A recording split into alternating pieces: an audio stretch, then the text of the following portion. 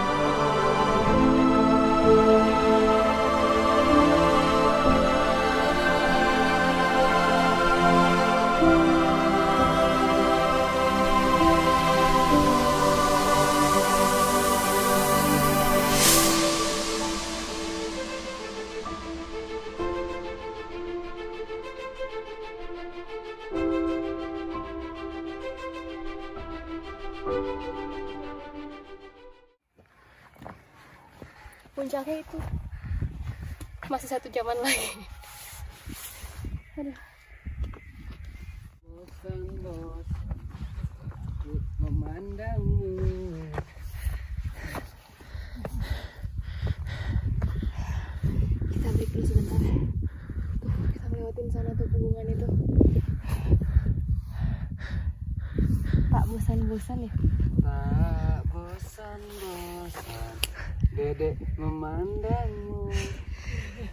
就就你就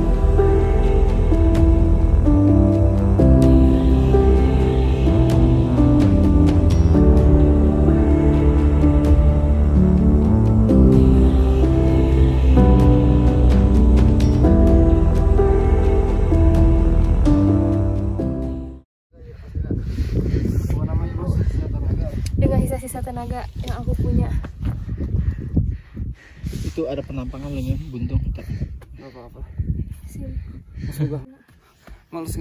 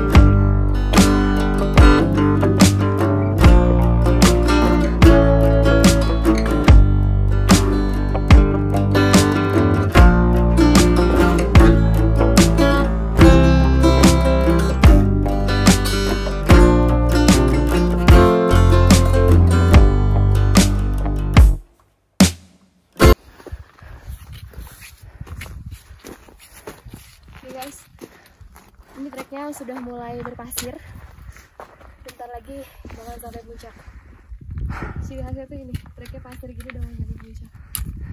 Yuk semangat yuk dan udah semakin terbuka.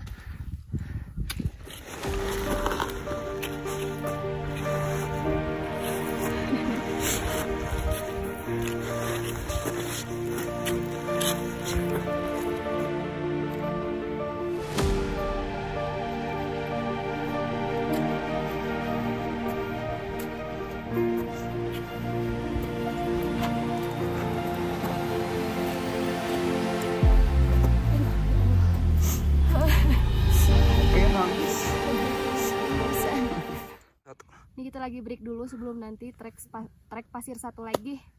Kita ambil nafas dulu. Sama Mamang Guide sabar banget gila nungguin. The best emang. dadah dulu dong Mamang. dadah Iya, dadah. gimana penjelasannya untuk jalur sadarahe Untuk Gimana? jalur Saderehe dari pos 1 sampai pos 6 eh, belum terlalu tapi 7, 8 dan puncak itu bikin kita sadar. tapi emang asik sih. Jangan lupa persiapan fisiknya. Kalau mau ke Ciremai via Saderehe harus dijoskan.